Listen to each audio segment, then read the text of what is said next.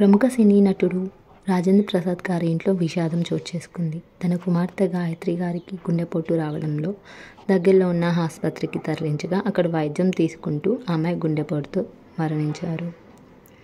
అయితే ఎంతో ఎన్నో మీడియా ముందు రాజేంద్ర ప్రసాద్ గారు ఎన్నోసార్లు తెలియజేశారు గాయత్రి దేవిది లవ్ మ్యారేజ్ అని. తనకి అది అంతగా ఇష్టం లేకపోవడంతో ఆమెకి ఆయనకి మాటలు లేవని తెలియజేశారు. రాజేంద్ర ప్రసాద్ గారి మనవరాలు చిన్నప్పుడు మహానటి మహానటి జూనియర్ క్యారెక్టర్లో యాక్ట్ చేశారు. ఎంతోమంది సినీ ప్రముఖులు రాజేంద్ర ప్రసాద్ గారికి ఇంటికి వచ్చి తనకి ధైర్యాన్ని చెప్తున్నారు.